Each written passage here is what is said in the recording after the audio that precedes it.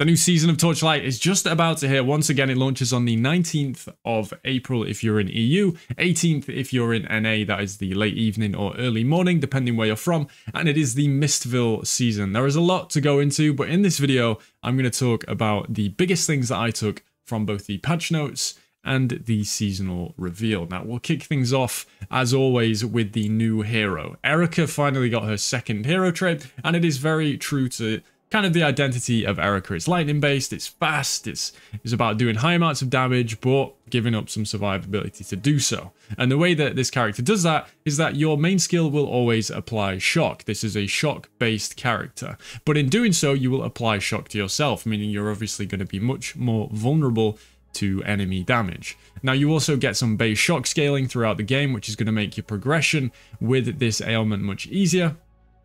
But the idea is that you go very fast, and you trigger something called Feline Figure, which causes you to inflict shock on nearby enemies up to 3, and you will settle that shock damage 10 times, which is a huge amount of damage uh, and this can be triggered on a 0.5 second cooldown. And with it being a cooldown, that means you can scale it with cooldown recovery speed. So a ton of damage, you can almost play like a trigger build with this ability itself. And if you don't know how shock works, basically when you hit something, you will leave a shock on the target. And then when you hit it again, you will settle that shock and deal an amount of damage equal to your base shock chance or any additional effects to your base shock. And that will be consumed. But with Feline Figure, it is not consumed. So you will always get that 10 shock settles as it doesn't consume any on it. So you only have to have the shock status. It doesn't matter how many. Now there are other things as well. We have the Electrify, which causes you to settle even more shocks on the target. You're going to gain stacks of Electrify just from running around, which is going to be very easy on this character as at level 75, you no longer have to hit the target to trigger Feline Figure.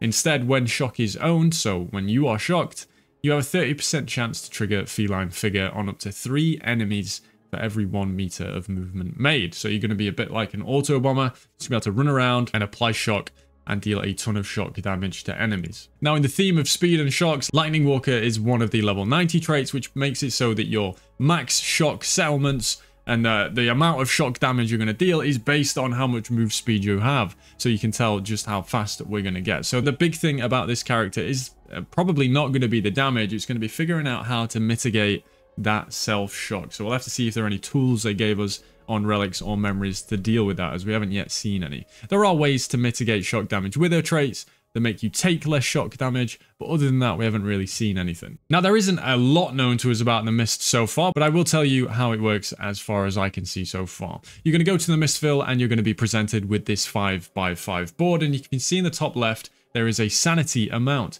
You're going to spend sanity to progress from where you started through the mist to try and find the clock tower.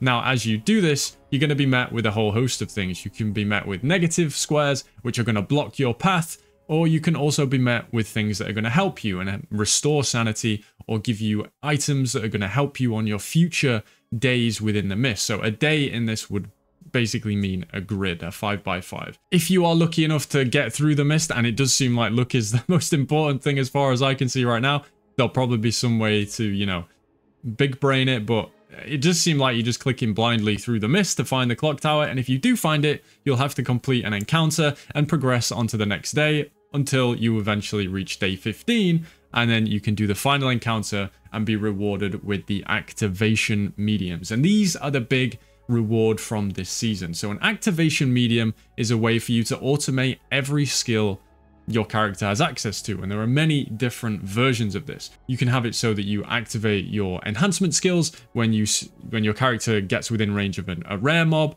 You can have it so that your character just tries to use your skill as frequently as possible. Essentially every character becomes an auto bomber in this season as far as i can tell. Now there may be some exceptions things like bing probably don't work with it and they also made it so that spell burst does not work with triggers. So we'll have to see exactly how all this plays out. But as far as I can tell, attacks do get a big buff from this because a big thing about attacks in the past was in Torchlight, it kind of sucks to have to aim and it also kind of sucks to have to stop and hit things. And I mean, this alleviates both of those problems because they're going to be automated. Essentially, you'll be like a seething Rehan with your guy doing all the attacks, except it will be you. So I'm very excited for these activation mediums. I think they're going to make a big difference to which skills are going to feel good. How they're going to play in terms of bossing, I don't know. And also how obtainable and annoying they're going to be to get, again, we don't know, right? Because these are scalable. They do have roles. Each one comes with three abilities. What that is going to affect the amount of damage that it adds, cooldown that it has, so how frequently you can trigger the skill, and various other things that are going to affect whether or not it's actually good for your build. So we'll have to see how hard it is to get perfect ones, or if you even need perfect ones to begin with. But all in all, I think it's really cool. We did lose things like rhythm, so we can't now automate our skills without these, so engaging with the mechanic is pretty much mandatory unless you want to buy these things from the trade house. Uh, but, I mean, it's the new content, so I imagine most people will want to give it a go. Now, the final thing on the mechanic, other than that, would be that there is a meta progression associated with it. There's going to be a board that assists you in progressing through the mist in future runs. So you're going to be able to scale it up, and much like every other season, there's always a skill tree. This one looks a bit smaller. It's not like the City of Aeterna where we have 5 million points to put in. This one looks kind of straightforward, and it's just going to give us extra resources, extra loot, all that kind of stuff to help you progress better through the mist and to get better rewards. So very cool. This season has attempted to put in a stopping gap between, you know, your character as it is when you leave the campaign or the early game and to get you into that later game by adding in prototype items. So there are prototype items for memories, which is going to provide the effect of the memory. Typically, it's going to be the memory that provides another hero trait, or it could just be a really strong item. So something like Surging Inspiration, which is a really, really good helmet that can be used with Spellburst. Now there's kind of a baby version of Surging Inspiration that gives a similar effect, but is not as good, but you'll be able to gain access to it and kind of get your build online much sooner than you would if you were to wait to get a few hundred to a thousand FEs and buy one. So they've done a lot of work in order to kind of bridge that gap. And not only that, they've done that for the campaign. There are now troves in the campaign that are going to provide access to legendary items. So if you want during the campaign, you can just stop and level through these troves and get some really sick leveling gear. Uh, and it shouldn't take too long. You also get a ton more XP. So level in, getting your character up to scratch. The early time mark progression has been changed so you can power through the Nether Realm faster everything this season, they've tried to make it more streamlined, easier to get through, and so your character isn't going to feel like trash until you get expensive legendary items. So very cool in my opinion.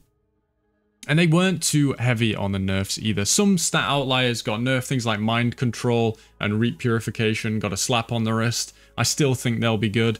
Almost every underutilized hero trait got a significant buff. They actually redid all the hero memories and hero relics can't go over that in this video, but if you want to check the patch notes, I will link them below.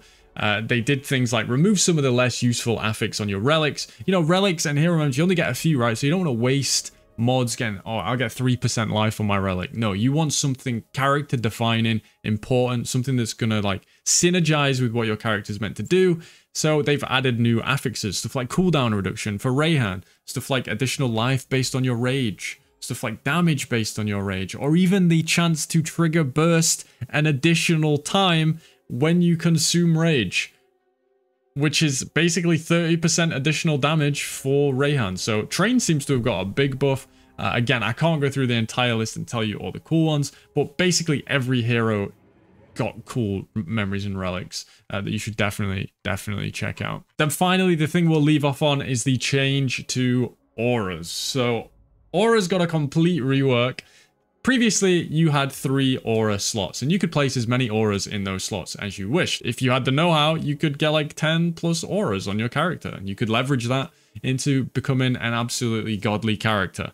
Now you are maxed out at four. You get four aura spots, and you can put four auras in there, but we got some really, really good new supports. Probably make up for that in some degree, so less auras, but more impactful auras that you're going to scale much, much further. All in all, I think this season looks really fun. I'm going to be playing it, of course. As for what I'm starting, as it's probably going to be the new Erika, and I'm probably going to start with Thunder Spike. We'll see where it goes from there. So if you want to play what I'm playing, stop by stream on the day of release and I'll go over it before we start the actual season. Um, and if you're playing something of yourself, yo, let me know. Uh, obviously, the things that were good before are probably still good now. Even stuff like Mind Control, maybe not Thundercloud, but Frost Terra Gemma, Mind Control Youga, Arrow Einherjar, anything, probably still absolutely fine.